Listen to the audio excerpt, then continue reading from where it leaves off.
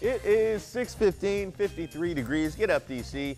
Now, March is Women's History Month, so we decided to highlight a pair of women in Howard County. Now, one is the chief of police, the other is the chief of the fire department. They both sat down with our Evan Koslof to talk about their journeys to the top. Has there been a moment in your new roles where you guys have just sort of pinched yourself and said, Yes, look at this badge I got on, you know? yes. Often. The two new chiefs of Howard County are just getting used to the new gig. Times of walking down the hall, I'll hear someone say, "Hey, chief! Hey, chief!" And oh, got to remember, okay, yeah, that's that's me. That's me. The two have had lengthy careers. Chief Olhorn started in 1986 and Chief Myers in 1990, and they've had great success, despite the fact that this remains a male dominated industry. We've come a long way, but I'm sure you probably heard voices. I'm sure you guys heard voices when you were growing up of people saying, no, no, no, that's not a woman's job. Did, did- did you hear that?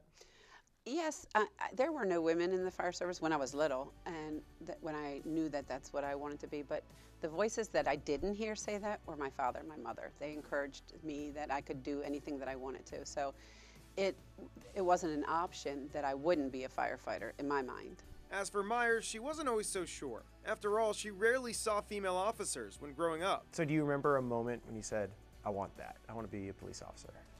You know, actually, it's kind of funny. I was in the crime lab and I had an accident uh, with my vehicle.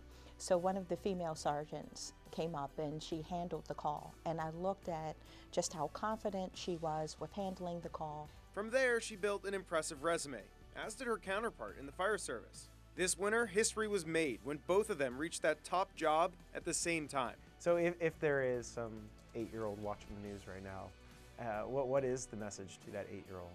You can be anything that you set your mind to. Believe in yourself and empower other little girls around you. I think that I would say be confident in yourself and dare to dream. And even if you don't see someone in that role, just have confidence in yourself to know that you can do it and that you can blaze a trail and be the first in that role for those other little girls looking back. All right, very important lesson, and hopefully, as a result of their success, less people will have to do that because they see people like them in those roles.